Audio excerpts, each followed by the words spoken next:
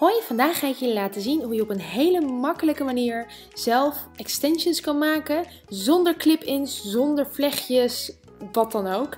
Namelijk door zelf een flip-in extension te maken. Deze extensions zijn eigenlijk hartstikke duur bij de kapper. En toen dacht ik, hé, hey, dat kan je toch heel makkelijk zelf maken. Dus bij deze mijn DIY.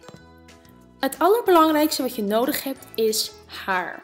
Um, je hebt verschillende soorten haar. Dit is human hair. Dat is eigenlijk het beste wat je kan hebben. Dan kan je met de tang bewerken en dat is gewoon net als je eigen haar.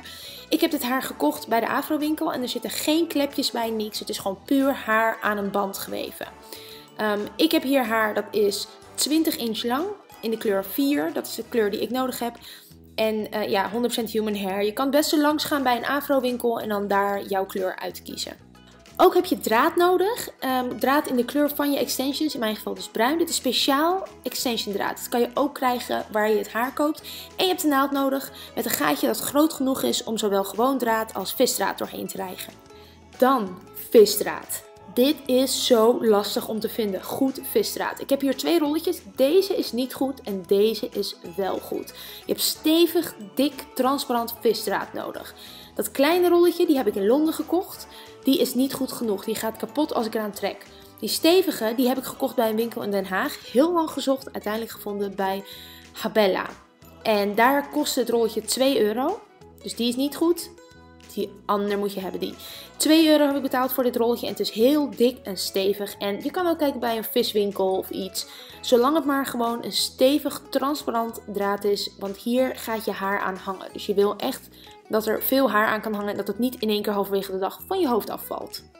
Het eerste wat je gaat doen is het haar van het kartonnetje afrollen. Doe dit heel voorzichtig, want het gaat heel snel in de klit. Het zit vaak vast aan zo'n kartonnetje. En je rolt het als het ware eraf. En tussendoor kan je het het beste even borstelen uh, met je vingers of met een haarborstel. Op die manier krijg je niet te snel klitten. Pas ook op met huisdieren. Mijn katten vinden dit fantastisch en die gaan gelijk in dat haar spelen en zo. En als het eenmaal in de klit zit, krijg je het er heel lastig weer uit. Dus voorzichtig eruit halen, stukjes eruit halen die er eventueel tussen zitten en netjes naast elkaar leggen. Dan is het nu tijd om te meten. Je neemt een stuk van het haar en legt dit tegen je hoofd aan. Je wil niet dat het helemaal tegen het randje van je haar komt, want dat ziet er gelijk nep uit. Je wil dat het iets ernaast zit, een stuk of 3-4 centimeter ernaast, een beetje boven je oor. Het moet iets onder je kruin zitten. Niet te laag, niet helemaal in je nek, maar ook niet te hoog. En aan de andere kant op precies dezelfde plek. Dus het komt onder je kruin uh, waar het gaat hangen straks. Als je te laag doet, krijg je heel snel klitten. En te hoog, ja, dat blijft niet goed zitten. Dan is het nu tijd om te gaan knippen. Hou je vingers goed op de plek tot waar die kwam. En neem nu een schaar en knip daarin van boven. Op deze manier knip je zo min mogelijk haren daadwerkelijk af. Check het nog één keer. Klopt die? Is dit de plek? Yup. Dit is de grootte die je nodig hebt. Dan gaan we nu de volgende banen maken. En dat doe je heel makkelijk door de eerste baan op de grond te leggen of op tafel. En vervolgens de volgende erop te leggen. En op precies hetzelfde puntje in te knippen. Waardoor de baan even groot is. Strek ze even allebei uit. Want ze krimpen een beetje in. En ook deze knip je van bovenin. Waardoor de strookhaar even lang wordt als de onderste. Dit herhaal je met al het haar, of tenminste hoeveel je nodig hebt. Misschien wil je een deel bewaren. Maar ik heb besloten om het hele pak te gebruiken om twee flip-ins te maken. Dus ik ga gewoon lekker door tot hij op is. Je kan ervoor kiezen om één hele grote dikke flip-in te maken, maar dat kan wel een beetje zwaar worden op je hoofd. Dus ik kies ervoor om er twee te maken. Ik neem de helft en die leg ik even voorzichtig apart. En in dit geval zijn dat dan drie strookjes. En uh, de bovenste is iets korter, maar dat is niet erg, die kan je in het midden doen. En ik begin met de eerste van drie stroken. Ik steek het draad door de naald en ik zorg ervoor dat ik nu een dubbele, dubbel draad heb. Aan het einde maak ik een knoopje. Je kan hem zo lang maken als je zelf wil. Doe hem gewoon iets langer dan je denkt dat je nodig hebt. Want je kan natuurlijk het uiteinde altijd afknippen. Nu begin je bij één uiteinde en prik je het naaldje door het hoekje. Probeer zoveel mogelijk, zo ver mogelijk tegen de zijkant aan te zitten. En nu ga je eigenlijk het haar aan elkaar vastnaaien. Sommigen die doen dit door te lijmen. Nou, ik ben persoonlijk geen grote fan van lijm uh, in de buurt van mijn hoofd. Wat dan daar misschien de hele dag zit. Ik weet niet, allergie, bla bla. Dus ik vind dit gewoon veel veiliger om een draad te gebruiken. Ik naai hem er doorheen, dus door alle drie de strookjes. Het bovenkantje waar het haar aan vast zit, dat is eigenlijk een heel dun reepje stof. Daar kan je met je naald doorheen. En ik ga dus door laagje 1, 2 en 3 heen. Trek hem er doorheen. Vervolgens prik ik hem ongeveer een centimeter verder weer erin. En dan ga ik er weer doorheen. En het hoeft echt niet heel precies. Je kan het wat losser doen. Het gaat erom dat ze redelijk goed aan elkaar vastzitten. Dit kost je ongeveer 10 minuutjes. En zodra je bij het uiteinde bent, maak je een knoop. Um, en daarna knip je hem af. De draad is speciaal gemaakt voor extensions, dus heel stevig. Maak even een driedubbele knoop en dan zit het vast en zeker goed. En dan is in principe de basis van je extension klaar. Dan gaan we nu verder met het visdraad. En dat ga je eerst door je naald heen halen. Vandaar dat ik zei, de naald moet groot genoeg zijn.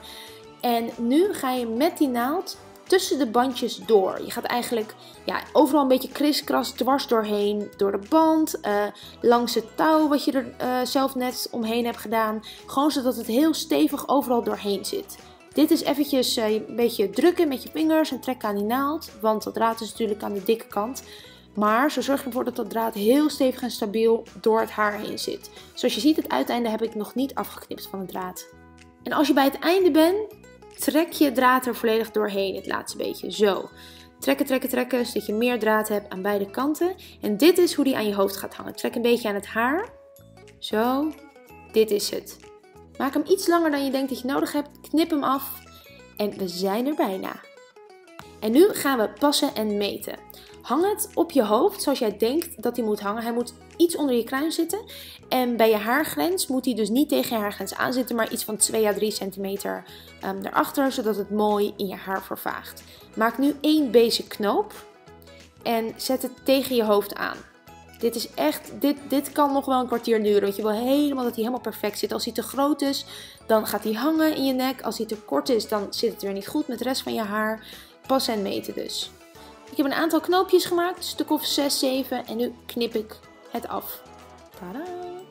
En nu trek ik aan het visdraad aan één kant, waardoor het knoopje niet midden op mijn hoofd zit, maar tegen de zijkant van het haar aankomt. Het liefst nog in het haar als het kan, maar anders gewoon er tegenaan. En nu is je flip in klaar. Tada! Al met al heeft deze flip in me ongeveer 40 euro gekost met alle tools erbij. En ja, ik maak er twee. Dus ja, een pak kost 75 euro met uh, uh, kleine dingetjes erbij, naaldje, draad. En that's it omdat de extensions echt kaarsrecht zijn, heb ik mijn haar even gewoon goed recht gemaakt. Anders zie je wel heel erg duidelijk het verschil. Dat is het ding. Je moet je haar extensions exact in dezelfde structuur hebben als je eigen haar. Bijvoorbeeld recht of gekruld. En dit is hoe je ze indoet. Je hangt het om je hoofd. Sorry voor het wazige beeld. Uh, maar je ziet ongeveer hoe het moet. Uh, je hangt het eromheen en vervolgens neem je een puntkam, het achterkantje. En daarmee ga je langs de draad om je eigen haar eroverheen te flippen, zeg maar. Daarom, het heet ook een flip in. Je flipt het in je haar. Dit doe je aan beide kanten en hierdoor camoufleer je eigenlijk die rand van het haar. Zelfs dat visdraad dat nu op je hoofd hangt zie je eigenlijk niet omdat het transparant is. Ga er nog een beetje overheen met een borstel, zodat de laatste beetje haar er overheen vallen. En voilà, dit is hoe het eruit ziet. Ik vind erg weinig voor mijn haar, dus ik maak twee pakken waardoor het precies genoeg is.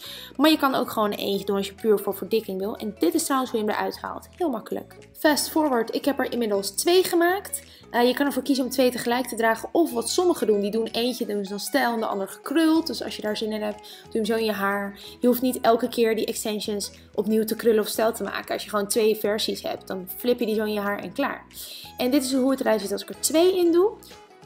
Het enige wat je doet is je doet die eerste erin, dan met het kammetje haar eruit halen, tweede erin, kammetje haar eruit halen. Dus niet allebei eerst, maar gewoon als twee individuele flip-ins doen.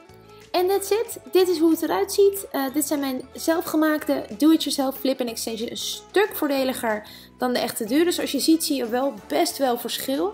Ik heb het idee dat met krullen het verschil minder duidelijk is. Dus ik ben niet van plan om deze stijl te houden. Ik ga ze gewoon krullen doen. Maar voor nu is het ook leuk om het zo stijl mooi in een staart kan je bijvoorbeeld doen. Of je doet er een mooie vlecht in. Het ziet er gewoon uit alsof je heel erg lang haar hebt. En het is het, dit is hoe het eruit ziet. Ik hoop dat jullie het leuk vonden. Ik ga ze persoonlijk nog even krullen. Um, als jullie daar een tutorial van willen, laat me weten. Want ik heb bij mijn opleiding geleerd hoe je dat het beste kan doen met zulke extensions. Je kan ze natuurlijk gewoon wassen met shampoo en conditioner. En uh, ja, ik hoop dat jullie het leuk vonden. Bedankt voor het kijken en tot snel. Hoi, vandaag heb ik voor jullie een shoplog met dingen die ik heb gekocht in Londen. Het zit in deze tas, daar staat op Undone is the new glamour. En het is